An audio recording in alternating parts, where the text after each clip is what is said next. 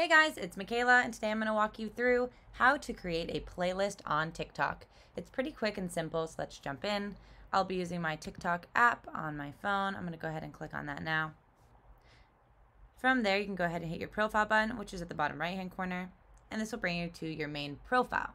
Now, to do the create your playlist, the new feature for TikTok, you have to one have a creator profile. It can't be a personal profile.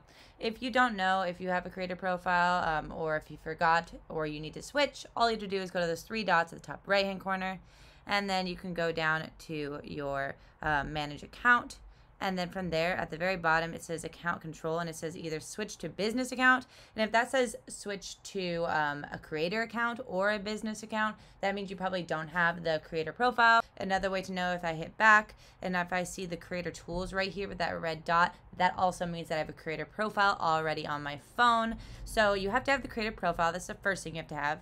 The second thing you have to have a certain amount of followers and a certain amount of posts. However, as you can see, I'm on a creator profile right now and I don't have the option to create the playlist. So I've taken some screenshots. I'm going to jump over to you there now and show you. If I had the creator um, option with the new um, the new playlist, it's going to look like this right above all of my posts. You can see it says the About Me, social media too. And these are just playlists that your um, followers can click on to see those videos all together. If you have that many, um, you know, followers, that TikTok allows you to have this option. Um, again, I don't know exactly the number. They haven't put that out there yet. But if you do have that option, then right where it says About Me, it's going to say a create a profile or create a, um, a playlist. And then you'd start creating those playlists. Um, I'll go over to the next one. It will show up on your videos when you're watching them on the feed and it will say that about me right there if it's in that playlist as you can see.